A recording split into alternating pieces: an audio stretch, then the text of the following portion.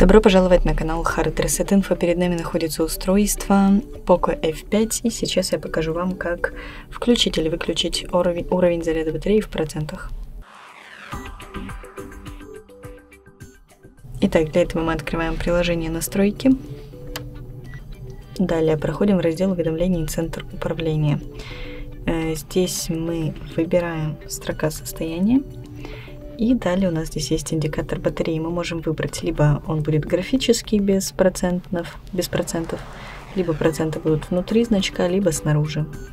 И на этом все. Спасибо за просмотр, ставьте лайки, подписывайтесь на наш канал.